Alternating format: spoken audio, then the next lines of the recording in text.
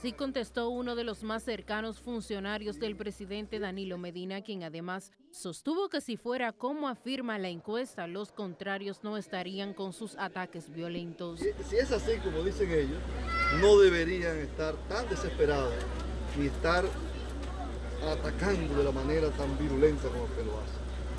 Deberían estar felices, pero que sigan chupándose ese bobo. De inmediato, el diputado del PLD, seguidor del expresidente Fernández, José Luis Cosme, le respondió que quienes están chupando el bobo son los que están disfrutando del bienestar del Estado dominicano.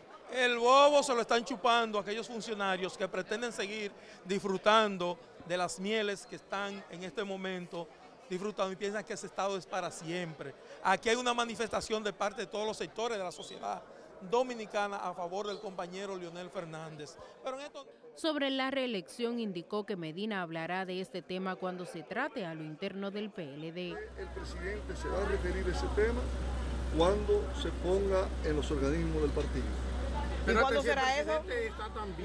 Cuando lo decide el, PLD.